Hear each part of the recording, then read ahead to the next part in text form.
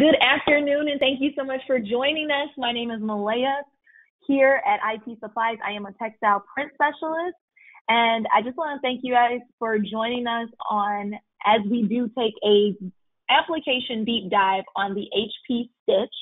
Today I'm joined by Jeremy Pilcher, an AMS textile solution architect for HP. But before we get started, I would like to mention that all attendees will be muted throughout the webinar to reduce background noise. During the webinar, we do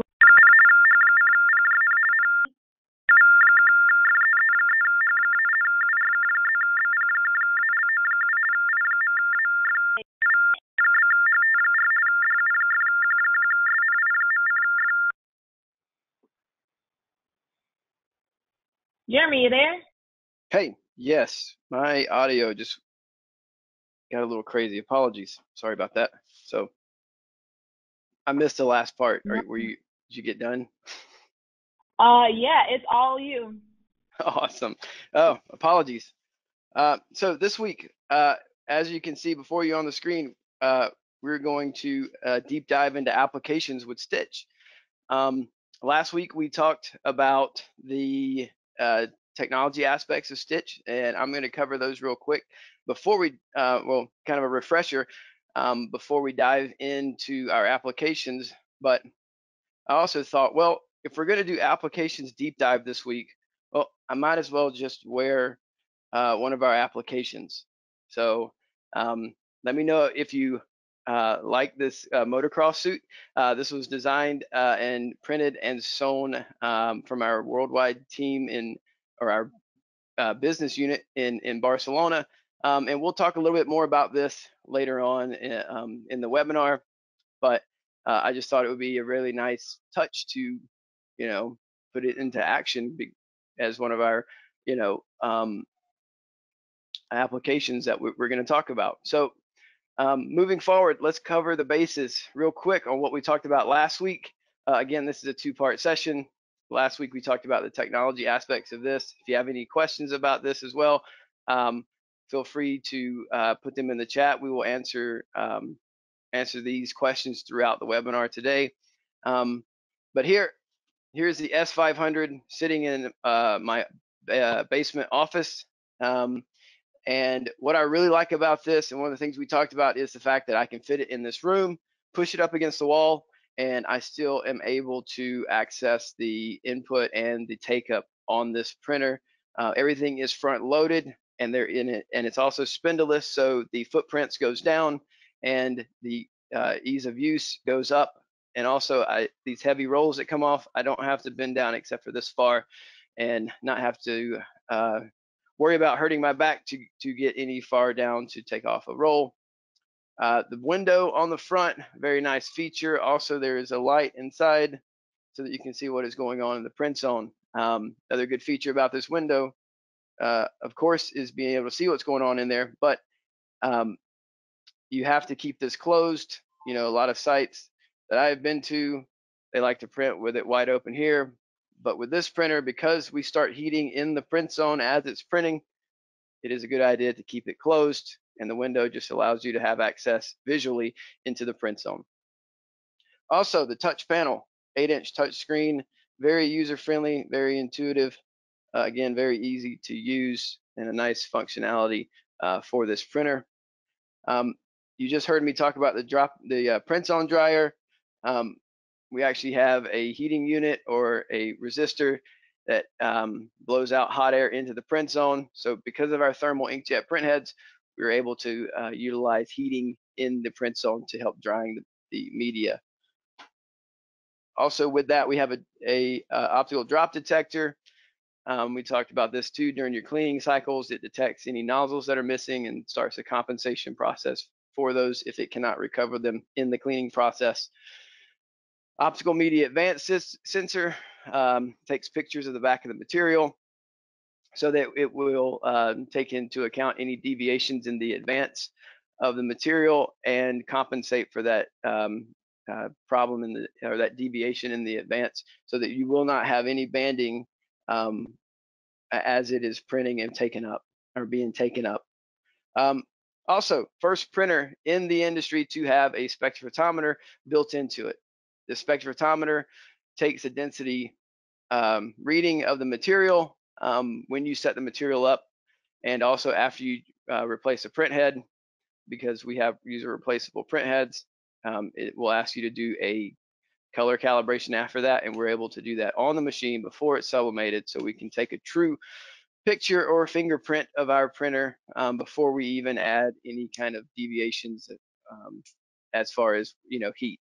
Um, a lot of times when you do your linearizations, you have to print them off, press them, and then measure them. And if there's any kind of issue with your heat press, um, it's going to throw those measurements off.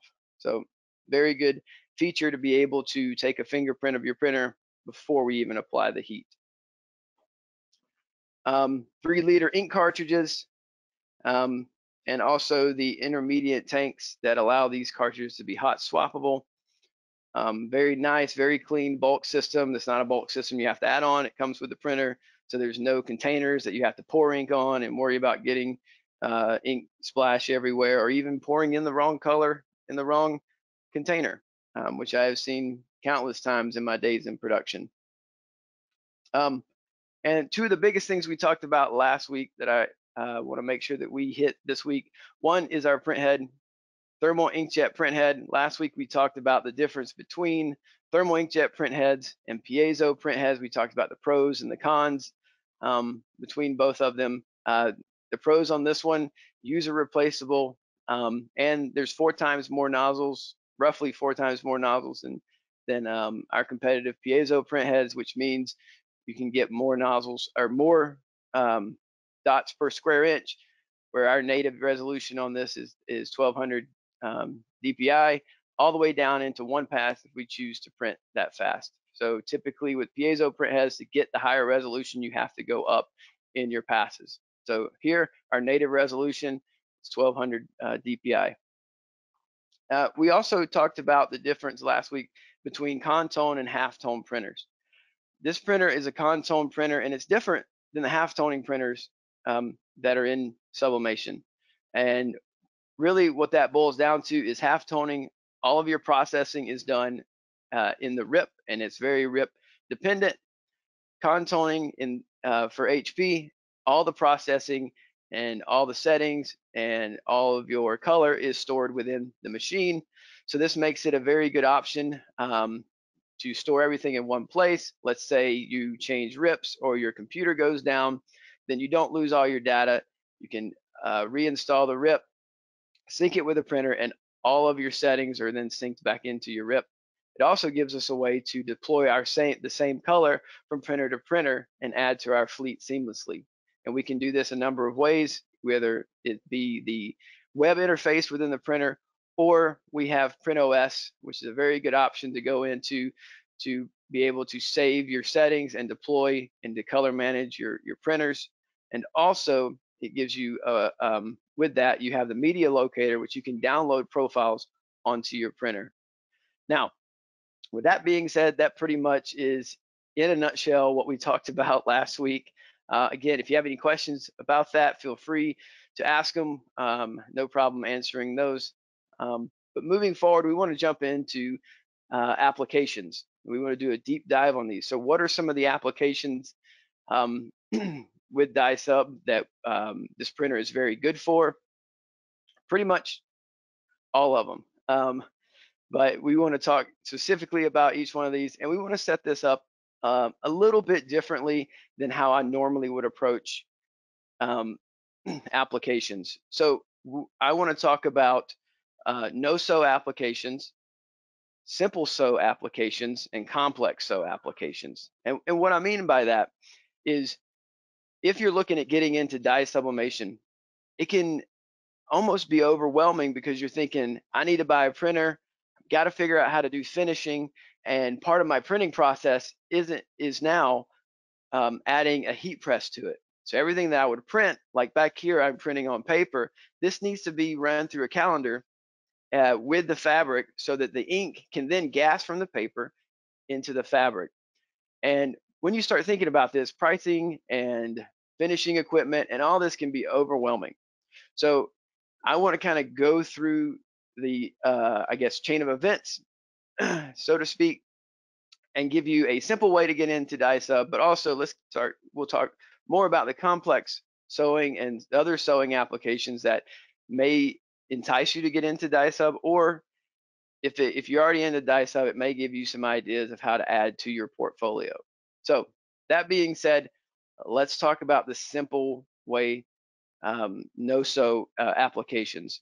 And what I want to start with with this is, let's say um, you're into marketing and these items would be printed on paper and they would be pressed into um, something like a coaster. So let's let's start there. So I have these coasters. They are soft coasters, and they have a rubber backing, and then there is a knit fabric that is laminated on top of this.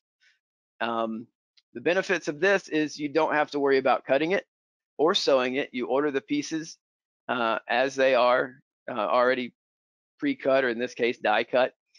And you're going to print on paper, and then you can even use a flat press as opposed to a calendar press. Now, a flat press is in a lot of cases going to be about a quarter of the price of a calendar unit.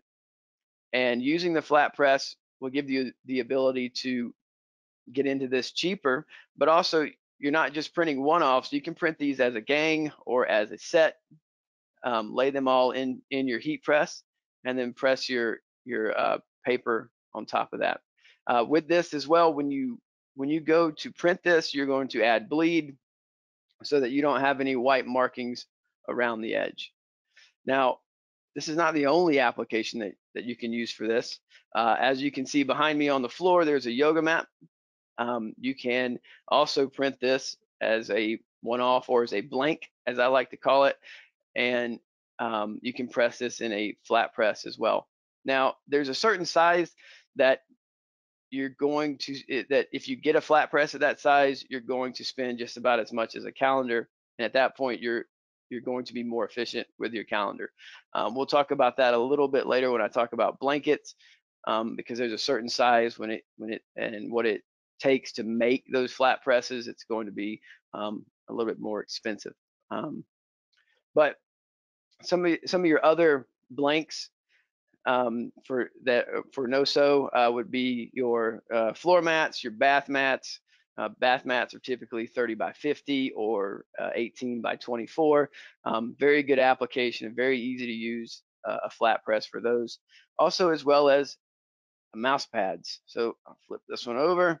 So a mouse pad, another good application um, for a piece goods type workflow, um, and you can use a flat press for it very easily. Now, if you have a certain volume of these, it makes sense to start using a calendar press. But again, that's something that you would need to factor in the volume and the time and everything else. But if you're looking at doing these a um, couple times a week, then this option to utilize this printer to do mouse pads on a flat press would be a very good option. So, hey Jeremy, go ahead we had someone that we had someone ask if you could hold up the um, yoga mat.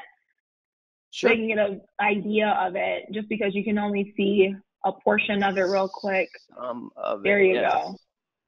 Oh this yeah. is a big okay. one yes. So um, and then they wanted to know if that one was done on a flat press or a calendar press. I do not know exactly how this one was done. Um, but I would assume this one this one was done on a calendar press, just by the size of it. Um, you know, because it's it's about 60 inches wide, and I just got blurry. Um, it's about 60 inches wide, and uh, typically uh, once you start getting into, we'll talk about this when we talk about blankets. Once you start getting into um, that size of a, like a 60 by 80 blanket, or getting a heat press, it's you know 80 inches by 60 inches it's going to start getting up there in price. So my assumption is it's was done as, as roll to roll. So but the same material can be die cut into smaller like you know it's a very good application again for bath mats um, and floor mats welcome mats um, that can be done uh, smaller um, to where you would just need a good 30 by 50 heat press or a 30 by 40 inch heat press depending on which supplier you go with um, and what they have available. And again, it makes it uh, an easy application to do that. So Thanks. any more that was questions? all for right now. Very cool. So uh, another application um, we want to talk about would be so, uh, soft signage. Um, and when I talk soft signage, you're probably going, well, soft signage, I probably need a pole pocket. I need uh, a hemmed edges. You know, all, all that's true. You know, we'll talk a little bit more about that when we talk about the, the simple sewing.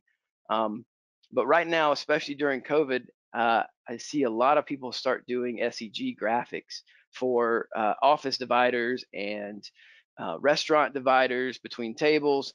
So here is a um, SEG graphic for sign and display. And you can see the SEG in there. This is a um, simple sew application, but you may be thinking, well, what if I want to get into this and I don't have the sewing uh, capabilities? Well, you don't need it. There are um, companies out there that supply uh, SEG type frames, but you don't need to sew the SEG on there. So this frame has a rubber gasket inside and you can simply just push this in using a credit card. So what you can do with this, again, depending on the size of it, you can run it in, um, as a one-off and run it in your heat press, in a flat press. And um, and that way you don't have that way you don't have to worry about getting a calendar unit um, and you don't have to worry about using uh, finishing equipment for it. So you would print this. Um, a lot of people, um, some people I know that would do something like this would print them, uh, would pre-cut this before it's printed.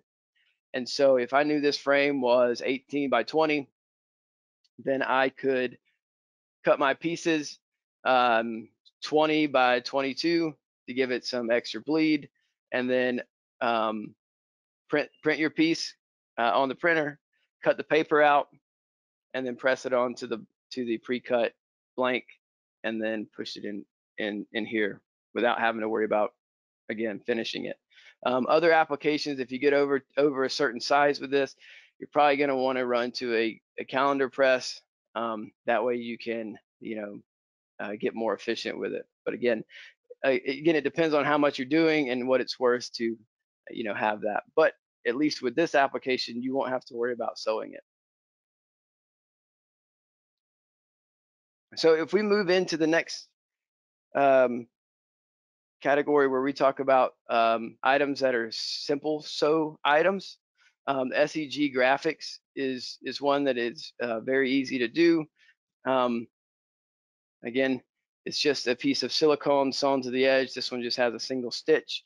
And what I mean by simple sew is pretty much your straight line sews. So your um, see your your your um, soft signage banners that need a pole pocket. Um, in the home decor side, it would be like your tapestries that you would you would print and then sew pole pockets on that.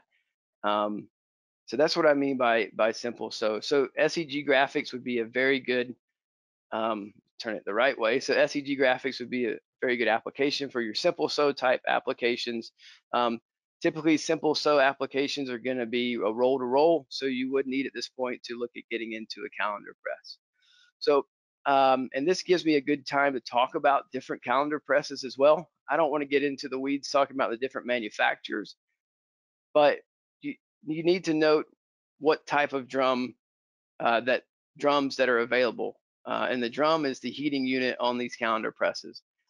And they usually come in different sizes. Some of them are metric but if we were to just kind of, uh, on average, uh, state what they are, you're usually going to see a seven, a six or seven inch, um, a 10 inch, a 12 inch, 14 inch, 20 inch. Um, when I was in production, we had a couple that had 30 inch drums. Now, what this gives you is, say you're going to print something and you're going to dwell at it at 35 seconds. With 35 seconds on a seven inch drum, it's going to be a lot slower uh, time than it would be on um, time's not a good way to, say that. So um, 35 second dwell on a seven inch, you're going to be able, you're not going to be able to get as much material through the machine at one time as you would on a 14 inch drum. So let's say if I had a seven inch drum and I was printing at 35 seconds, you're probably going to run around a yard a minute. And if you're going to do that on a 14 inch drum, you're going to run uh, almost two yards a minute. So your, your throughput goes up. Your dwell time doesn't, but your throughput does. And when you uh, look at the different size drums, you're going to, um, uh, if you look at the different size drums, it's going to go up in cost the bigger the drum. So that being said, so this is um, a simple sew application. The other would be uh, headbands. Headbands is another simple application. And with this headband, it was just sewn in the in the um, in the inside here. Um, and what makes this good is this fabric is a very tight knit. And when I say a tight knit, it is uh, it can be cold cut. So with that, can, hang on a second. All right, my son's got some uh, Legos he wanted to show me. Um, apologies. So uh, with this knit, this is a tight knit. It can be cold cut, and um, what I mean by that is like if you have a woven, wovens like to fray. Um, we'll look at uh, those a little bit when we when we see the pillows. They like to fray, and they're very hard to deal with once they are um, cut. So you want to say, hey, come here, buddy. And say, look, look over there and say, hey. Say, all right, show everybody your Legos. Oh, cameras, cameras up there. All right. All right, go play, have fun. All right. So uh, your wovens are going to fray, um, and uh, when they do, it's going to be hard to sew that. You're going to have to add an extra stitch, a finishing stitch. Uh, a lot of cases, if you have wovens, it's good to uh, hot cut those or hot knife them. Um, but this type material is very, it's a knit and it's very, knits don't fray. Um, and it's very good to just cut this and then do a quick sew on that as well. So this is a headband um, type application. If we want to talk about face mask, you know, a, a, really good face mask application would be the gaiter type mask. And again, very quick and easy sew. Just turn this inside out and sew it. And you can see the edges are actually cut uh, cold cut. They're not heat cut. So uh, very quick and easy way to sew these. Again, you can pre-cut these and flat press them, or you can run them roll to roll on a calendar press and um, cut them out after the calendar process. So another type uh, workflow, well, before I move on from masks, there's other type of masks with more technical sews. So here's a face mask that was done by um, one of our customers, and it's really just a, a, a, uh, tightly knit fabric, um, has a border sewn around it, and um, has the uh, elastic loop on it. So this kind of teeters between your your uh, simple sew, your complex sew, but it's another way um, that, that we can uh, uh do masks. So you have a, a simple gaiter type mask, easy sew, it's just a cut and one stitch to a little bit slightly more intricate sew um, with a mask that has a border and it also has elastic sewn to it. So, hey Jeremy, we have a question. Sure. Um, so as far as it looks like the question is basically just asking, um, they've been seeing some of the masks out there that are blank. So, and they're hearing you talk about the the different types of sewing. They want to just understand like, is there a um, pro or con to using a mask that's already created versus having to actually sew the mask together themselves? That's a good point. Um, so there are masks out there that are uh, pre-cut uh, or as a blank. Um, so there is a benefit to using those. Um, not really a not really any uh, uh, when i say benefit i'm talking about from a production standpoint but it's really going to be the same type of mask and even in a lot of cases same type of material as, as these two you know so if you have a, a, shop where you have a good cut and sew um, um, or good cut and sew line, then you can do a mask like this. If you're a simple shop and you're just trying to get mask out and provide stuff locally for your community, this may be a better option to to do. Um, and then even simpler would be your your mat mask, excuse me, that is uh, already pre pre-cut and just ready to have an image sublimated on top of it. And at that point, uh, it makes it quick to get uh, out the door as well. So you you can uh, get very uh, very good about how you can customize those and and get those um, out the door quickly. So whereas it's just a a print it, press it, and ship it rather than print, press, cut, sew, and then ship. Thanks. So, yep. Uh, another thing um, that that you can do with this is blankets. So this is a fleece type material.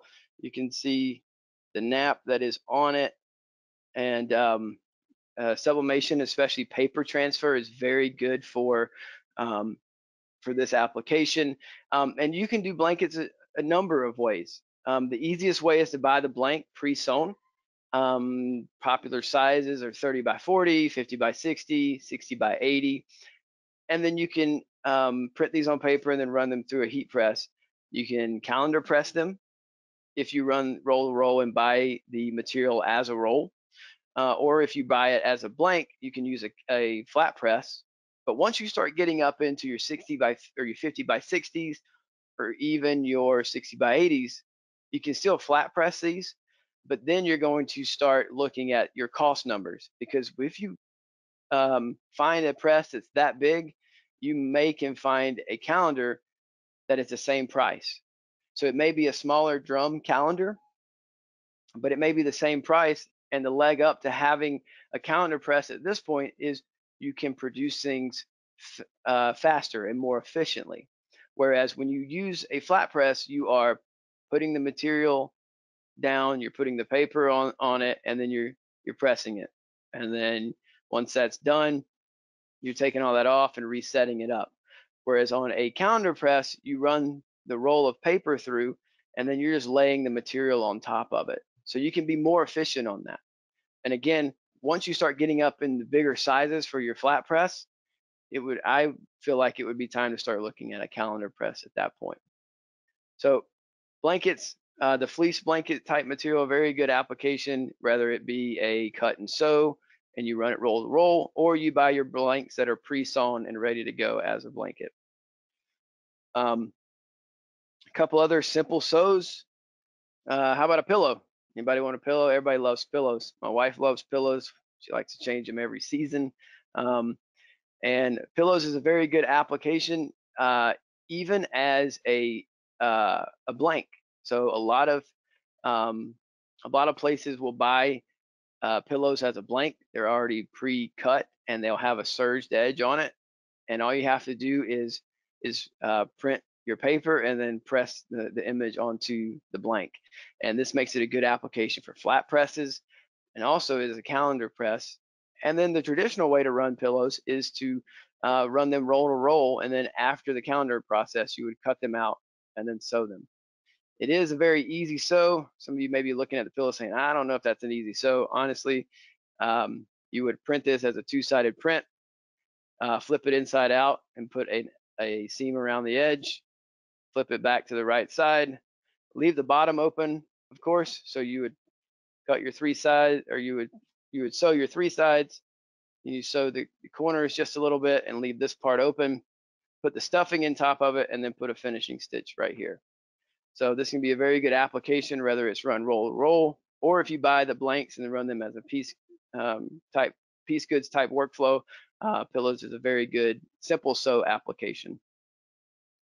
So uh, another good simple sew application, if we go back to like the marketing side, would be um, a koozie. So this is a, a blank koozie. This is what it looks like. And then you would put your print your paper, press this. This is a very good flat press option here as well.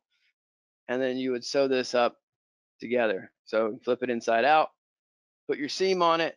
And a lot of people use a serger on the inside. It just works a little better. And the finishing on the end is sewn, is sewn together a little bit better using the serger. So I think for simple sew, um, I think that's it. Um, uh, the next portion, if we want to move into more of a complex type sew and a complex type finishing, um, and to start with, we can talk about apparel. This is a good printer for apparel, and I have a nice, lovely dress here that was printed on the S500 and then stitched together. Now, when we talk about apparel, we talk about dresses. These are all pattern type prints. These are all printed typically in this market, they're printed as a what I like to call um, I just I just forgot the word. Uh, it's, it's what I call uh, fabric by the yard. Um, actually, a couple words I forgot there. Uh, and this application is you would take a pattern, a step and repeat pattern. You would you would repeat it out. Um, uh, typically, in this uh, application, you would you would go 60 inches wide or 62 inches wide so that you could um, ink or sublimate the whole width of the fabric.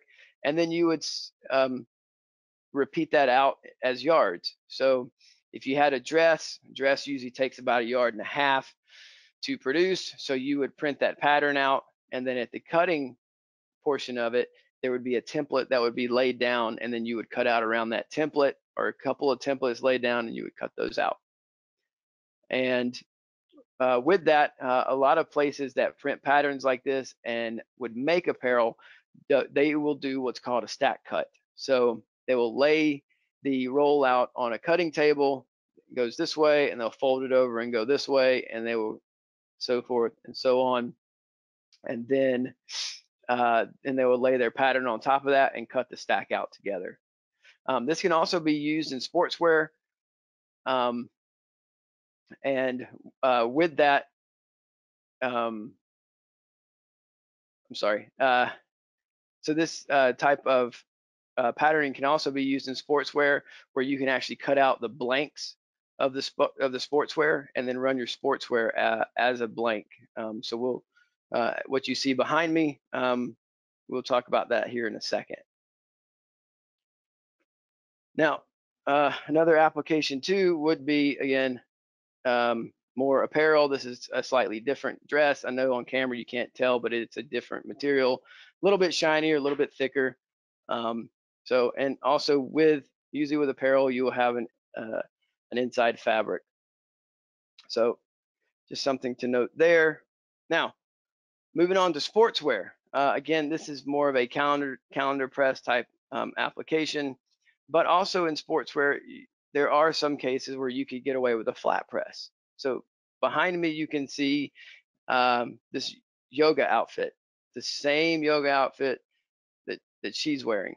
And what you do in, in this um, application is you'll print out the different parts of, um, for, so for this would be like the top. So you have the front, you have the back, and then you have the side pieces that are stitched uh, stitched in right here. Now you can run this roll to roll, or you can pre-cut your material or buy it pre-cut. And this works really well if you have a lot of different designs, but you're always going to use the same template for the same size. And what I mean by that is if you have a large, then your large is always going to be that size. It's never going to change. So if this is a large, then you would take that cut piece and lay the front down here, you lay the back down here and the sides here, and then this goes through the calender press. But because this is a cut piece, if you have a, a, a good size uh, flat press, then you can run these on the flat press. So you would cut down in your cost. Now, if you have a high volume of these, um, then it really makes sense to go to your calender press at this point. Um, and traditionally with this, um, I've seen it done both ways. Um, I know a lot of uh, both ways. I mean, you know, a flat press versus a calender press. Um, and what I see is if you have certain items that you know you're going that's going to be done the, the same way, and you need to keep a stock of your different sizes, then it makes sense to do a uh, uh, print it out as a or cut the fabric out as pieces and then run this as a piece goods workflow meaning you're going to run this in your calender and drop the pieces on top. Now, if you do a lot of uh, custom designs, and also you have a quick turnaround time. So if somebody orders something and you got to get it out the door within, um, you know, 48, 72 hours, then it makes more sense to print this out roll to roll to roll. And then after the transfer process, you cut the materials out, you bundle them together, and you take them to sewing and let the sewing uh, department sew up the, the designs. Um, and this also gives us uh, into the realm of technical fabrics. So technical fabrics you're going to see a lot of in sportswear. This is a technical fabric application. So you have what I call is a uh, duck type material. It's a heavy, um, I don't know if I can show this very good on the camera, but it's a heavy woven type material. And in a lot of cases, it has a waterproofing um, type coating on it. But also, um, it's not here, but down here, you'll see the different fabrics that are sewn in. So you have a breathable fabric here, you have a rough fabric here to protect the knees, and then you have another technical fabric here on the side. These aren't printed, but they are all sewn together to make this type material. Other applications that have a technical type of of uh, fabric would be um, the biking industry. So the cycling, I guess, as you would call it. And so here you have a material that is, you can see it right there. You can see through it. So it's a breathable uh, material and it's got a certain pattern that allows it to breathe um, in a lot of cases, this will also have a, a um, moisture wicking coating on it so that it will um, dry a lot faster. Um, and again, these are a technical uh, fabric and it as well, it is sublimated. So, and a lot of ways you can tell if something's sublimated or not, you're gonna see the white on the back. So sublimation is a very good application for this. Uh, and polyester is really great for this market as well because again, it's breathable and uh, you can get very technical with it with the coatings on that on it. So moving on, um, you know, all these applications that I talked about today, these are mainly paper to substrate applications. Um, now this printer does a very good job uh, being a hybrid printer. So that means that we can print uh, on paper like you see here, but we can also direct print to that. Now there's a, some differences here that you need to um, be on the lookout for. So if I'm to print this material and it's got some kind of coating on it, like a moisture wicking coating, I'm going to paper transfer this because um, it's when you direct print to it, it's not going to stick to it very well. It's going to be hard to keep the fabric dry or the dot pinned until you can get it to the heat transfer machine. And your washability on this too is uh, is still good, but there's going to be a lot of ink that didn't necessarily sublimate out of there. So your first wash is gonna there's gonna be a lot of ink that's gonna come out of there. So when you paper transfer this, again, the, the ink leaves the paper as a gas, goes into the material. At that point, um, anything that doesn't sublimate is left on the paper. So uh, again, for for stuff like this, a paper transfer is it's a very good um, type of application for that. Um, So direct printing something, what you're gonna need is a is a material that is coated for direct to print. And that's really just a coating that keeps the dot from moving around um, once it's once it's printed. Um, and this printer is is again a very good hybrid printer, but if you're going to print direct, just be sure you get a fabric that has a good coating for direct print. Um, and we have some approved fabrics that we know work for direct print.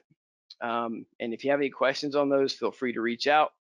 Um, to you can reach out to IT Supplies, and they can um, they can get with us if there's any questions on that. Um, but you're not really going to see a lot of direct to print in the garment industry or the sportswear industry um, even a lot of home decor is still going to traditionally be paper transferred. But let's say you have a really good backlit that you want to do, and when you print direct for backlit, you're going to want penetration into the fabric because the more penetration it, um, that you have, it gives you more density, so it's going to allow less light to get through. So it's going to make your blacks look darker. Um, so this here is a fabric that I direct printed. So, um, and if you have any questions or need to know the fabric, please put it in the chat. I will uh, talk about the fabric. But this is the front side of it. And if I go to the back, you can see that there's a lot more penetration on there, um, especially that that is there that wouldn't be there if I would have paper transferred it. So again, it allows the, the ink to go a little bit further into the material and it makes it a very good application for backlits. But again, do your homework, make sure you have a good material if you choose to um, direct print. Now, another application is for direct print. It's going to be sign or not sign. It's going to be flags. Um, now, earlier on, I forgot to mention that you can actually buy like garden flags pre-sewn. So that would be a very good application. Again, that's going to be a paper transfer because they're they're um, pre-sewn. That's a very good application, especially for a very small heat press, because some of those garden signs are like 14 by 16. So a good application to get into this without having to worry about sewing. And if it's going to be outdoors, um, make sure it's seasonal. Um, these inks are a hybrid ink set, which means it's very good for paper transfer and direct to print. Um, and uh, it is a low low energy dispersed dye, which means that the um, outdoor the ability outdoor uh, the fade it doesn't have very good fade resistance. So outdoors, depending on the time of year, it's only going to last from anywhere from four to six months. Um, and so you know if you have a garden flag, just you know make sure it's seasonal. So you'd put it out for summer and then put it back in and put up a fall one. You know, I know, you know, my mom likes to do that. She's got one for you know, I, I think for every month. So um, an application there. But other other uh, uses for for flag would be um, the uh, big teardrop flags that you would see outside of a barber shop or outside of a um, a restaurant, especially now a lot of restaurants are starting to reopen. So they are wanting to have as much curbside exposure as possible. So being able to print your flagged material here as a direct print means that you have visibility on the flag material on both sides. Again, when we talked about direct, we talked about how uh, it penetrates the fabric. So you can see here almost little difference between the front and the back. So for this application here, it's probably about 90% front to back. Uh, again, it depends on your flag material. Not all flags are going to allow the ink to go through the same way. So again, do your homework on the type of material or what you want to accomplish with the application and then what type of material that you can get to accomplish that. So when I talk about polyester fabrics, so all these applications that I've showed you are 100% polyester. Um, some, like the pillow fabric, has a little bit of cotton in it, so it's like an eight, it's like a 90-10. So uh, with that, you're just not going to get as much color pop. Um, but uh, when I talk uh, about polyester fabrics, uh, especially in the home decor market, a lot of people uh, worry about the sustainability of polyesters, being that it's a synthetic fabric and that it um, not necessarily green like cotton fabric is. So um, polyester is coming a long way. There's a lot of material out there that actually have a look and they feel like poly like cotton, even though they're polyester, and that's very good for the pillow market, the curtain market, the shower curtain market. So something to take a look at. But um, and polyesters are again, like I said, coming a long way and um, they've started making polyesters with recycled bottles. So here is a type of fabric. Um, it is a it's a Valutex fabric, and this is made from 100% recycled bottles. So um, what you can start talking about if anybody does say anything about uh, um, being green like cottons are, then you can talk about sustainability. You know, look into getting fabrics that are um, that are, are recycled. So, and last but not least, um, I get a lot of questions about rigid substrates. Now, last week we talked about the pros and the cons of the thermal inkjet print head. And uh, what we talked about with these print heads is that we have a 12 picoliter dot. Now, this works great in applications on uh, substrates like fabric. And again, when you think about it, the dot leaves the paper as a gas. So that dot, once it's gassed into the fibers of the material, looks a little bit different than it does on the paper. Um, now, uh, when we talk about rigids, we're not really in this market, um, you know, but I know a lot of people that try it, and you know, I decided to try it myself and see what it exactly looks like. Now, if we talk about rigids as fine art, this is not one of those uh, applications that you should even consider um, printing on a rigid with fine art. But this is just a little piece of ChromaLuxe that I printed out on our S300. And it doesn't look bad. The color you can see is there. And let's see if I can get the glare out of here. But in some of your areas, you're going to see a little bit of a grain pattern. Now, again, that's why I say it's not for a mug. It's maybe not for a um, fine art type application. But if I step back, this could be a good application for uh, your um, car tag. So you have your little license plate tag on the front of your car that you want something cool to say on it. This might be a good application for that. Or what about keychains, door hangers, something that you know doesn't have a lot of pictures but has more um, vector type images would be a very good um, um, way to do that. But just note in some of your colors, you are going to see a little bit of grain um, because of, of this um, technology.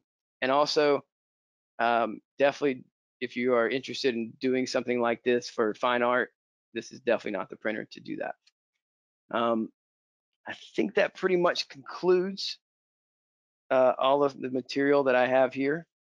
Um, so I will turn it over to Malia. Uh, and before moving any forward, any way forward, I want to thank IT Supplies for uh, allowing me to uh, come and discuss HP and the stitch and also the applications that we can achieve on our stitch. So that being said, Malia, if we have any questions, feel free to uh, ask away. All right, let me see.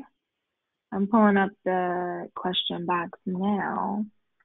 So it doesn't look like I have anything right now, so I'll start our outro and then we'll work our way back around to see if we have anything there. So thank you so very much, Jeremy. That was a lot of information in a short period of time. You literally blew through that. That was crazy. Um, and learned a lot along the way as well. So that was really great. Um, yeah. At this time, we're guys, we want you to go ahead and put some questions in the chat box if you have any. Um, but while we do wait for those to appear, just want to take a moment to tell you a little bit about IT supplies. As many of you know, IT supplies is here to support your needs for everything related to the perfect print. Our knowledgeable staff and technical support specialists are here to help you with supplies and support to keep your business running. In addition, we are posting daily videos on our YouTube channel to help you with many of your commonly asked questions. So please contact your sales representative for any assistance that you may need. And if you don't know how to contact your rep, please call 800 771 9665 and ask for a commercial sales specialist. We are here to help you and your business succeed. So let me see that I get anything extra real fast. Um, give me just a moment clicking on it. So one of the questions I got was, is the S300 a good starter printer or should I go to a 44 inch printer because the 64 inch seems a little big? Uh, the S300 is a good starter printer. Uh, definitely, no doubt. Um, you know, does 64 sound kind of big? Maybe. You know, maybe the stuff that you have is going to be pre-cut, um, and you don't necessarily need that width. but what it does give you is the ability to go to different widths. You know, um, if uh, like case in point, if I'm going to buy a roll of 64 inch media and I'm going to do a pr- cut print job, my heat press is uh, 30 by 50, 30 inches by 50 inches. Then I'm going to print um, a printout, you know, uh, nested uh, jobs. And I have more, if I'm to use 64 inch paper, I'm going to have more width to do that. Um, also, uh, if you're going to do a roll to roll type application or even look to doing that, then you, you won't be able to do that with 44. I mean, you won't be able to do it efficiently with 44 inch. So fabric is usually 60 inches wide. So being able to utilize the full width of the fabric at one time using a 64 inch printer. So I think you have a lot more bells and whistles with, eh, um, or what's a good way to say that? You have a lot more freedoms with a 64 inch printer, starting out with a 64 inch printer than you do with a 44 inch printer. Sweet. The other thing was, um, I got another one. Do you always have to use a 64 inch roll of paper?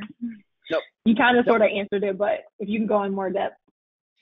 Yeah, so you can go down on this printer. You can go down to to 24 inch paper. Um, uh, if you were on the call last week, we talked about the um, color calibration.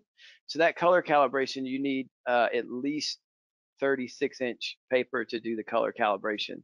So I would say a good standard on this is is 36 inches, but you can go down to 24 inch, um, just as long as you're not going to do the color calibration on that. Awesome. The next question I had was, can you print on any color fabric or does it have to be white fabric? So it has to be um, white fabric. Uh, the, the essential process of this is that um, even though we, we print it out in an inkjet printer, this ink in the chemistry of it is a dye. So and that dye is going to um, coat the fabric in a way. Um, and if you have a dark material, it's only going to it, it may dye that material, but you're not going to see the effects of that. So if you have a black shirt and you press something onto the shirt, it's going to uh, absorb it, but you won't be able to see it because the color is is black. So um, you're going to want to use white fabric. Now there are ways, and um, there is a company that makes a ty- an adhesive type of uh, vinyl that you can press to a cotton shirt and then take your image and press that on top of that vinyl. So, you know, that would give you the ability to print onto cottons uh, in a roundabout way, if that makes sense. Um, but a long way to answer your question, yeah, you need to use white fabric um, unless you have like an application you can um, press to that material and then put your um, put your ink on the application.